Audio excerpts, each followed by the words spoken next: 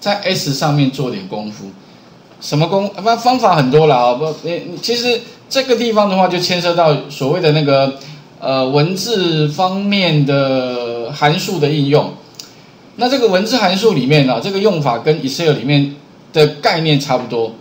也就是说哈，如果我今天的思考方向啊是，哎，请你输出的时候哈，帮我从第一个字一直抓到哪一个字呢？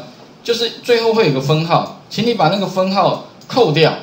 那扣掉的方式的话，哈，我可以用一个函数，我叫，其实用 left 也可以啦，好，left 从左边，然后帮我算，算到总长度减一个字就可以了，好，比如这边我把它输出了哈，应该是这样，总长度减一个字就可以了，所以啊，这个地方不知道各位有没有之前有用过吗？left，那你在啊输出之前打一个 left，呃 left 刮胡，好，然后。我串接好的东西，从呃，所以哈，你会发现 let 这个用法跟那个在呃 Excel 里面一模一样。第一个是需要给它一个字串，逗点哈是给它几个字，那几个字啊，我要怎么知道我的这一个 s 总共有几个字？很简单，len 这个用法啊，跟在呃 VBA 呃在 Excel 里面一样，刮胡啊，你把它放在。中间 s 放中间，这样的话呢，就会算出什么？算出哦，你这个 s 里面到底有几个字？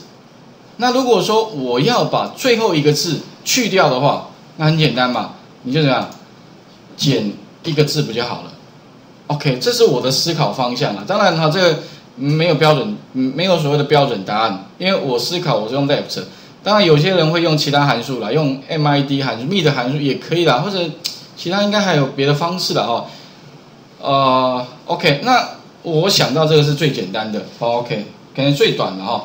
好，刮弧之后的话，我们来看一下，那原来只是输出 s 会多一个分号，那我就把它的总长度减一，从左边开始算，算到总长度减一，那刚好最后一个字分号就不会出现了。